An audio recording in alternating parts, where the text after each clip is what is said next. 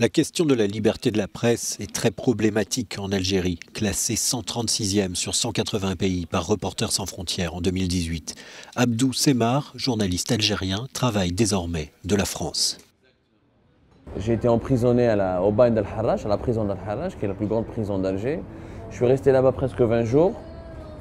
Et euh, pour, juste pour des articles, en fait, j'ai écrit des articles sur la corruption, sur les grandes affaires, les grosses affaires de corruption qui secouent le régime algérien.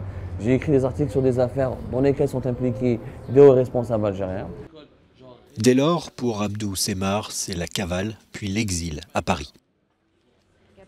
J'ai pu fuir, après j'ai pu regagner Paris grâce à un reporter sans frontières qui m'ont exfiltré carrément. c'est tout un film. Euh, c'est tout un film. Euh, d'ailleurs, une enquête en Algérie sur comment j'ai fui. Donc, on enquête sur comment un journaliste retrouve sa liberté, et on n'enquête pas sur les gens qui sont corrompus, qui volent, qui pillent les richesses de ce pays.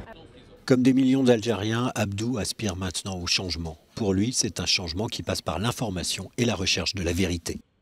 Il est temps de faire du journalisme de qualité. Il est temps de, dire non aux fake news. Il est temps d'éclairer l'opinion publique algérienne et de lui fournir un contenu indépendant pour qu'elle puisse se forger, pour qu'elle puisse reconstruire le pays. C'est le moment de faire du bon journalisme. Abdou Semar est rédacteur en chef du site d'actualité et d'investigation algériepart.com.